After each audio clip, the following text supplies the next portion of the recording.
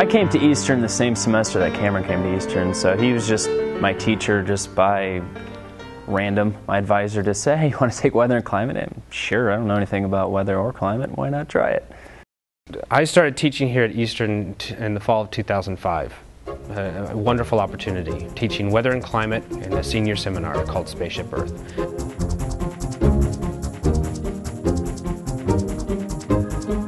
Cameron kind of just gave me the opportunities, and he asked, "Do you want to go out west?" I said, "Sure." I never been out west, and then said, "Well, you want to do a documentary?" I said, "Well, sure. Why not?" I had no idea.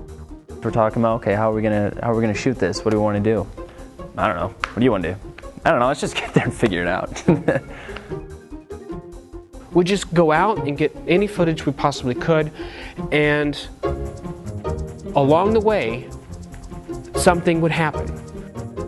Kevin would, uh, you know, ask a question, and then I would give him the answer, and then he would ask another question that required more um, philosophical approach.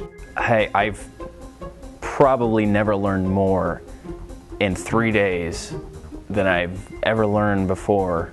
It was great because I didn't have to say, point the camera in that direction or say it this way um, because we have, in basic terms, the same thought process, the same creativity.